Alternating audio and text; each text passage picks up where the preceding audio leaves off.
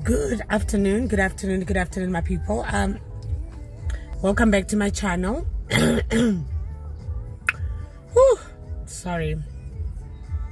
Today is tuesday uh, and it's in the afternoon. So i'm actually here at work. I was doing something.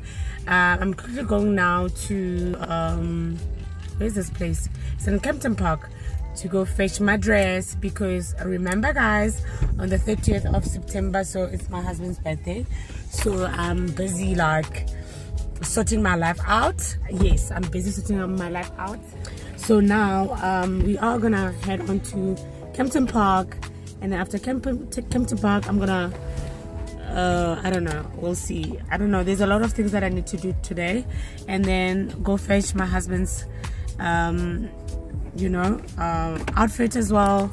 And then yeah. Shoot guys it's just a mess. I'm just over the place because obviously um, the anxiety is kicking in.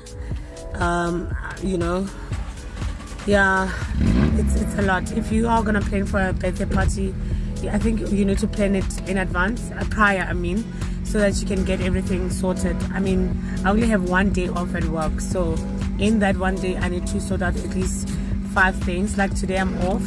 I'm gonna have to sort out make sure that the catering is it's it's done. Make sure that uh everything is done. So i must make sure that i sort my life out.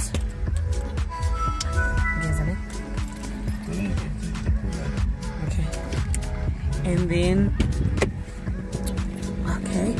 just gonna get out of the car.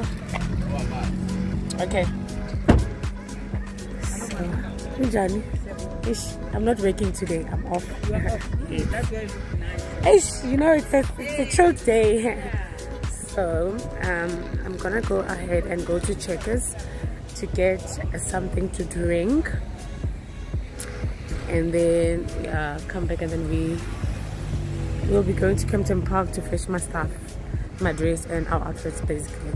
So guys okay please come with me.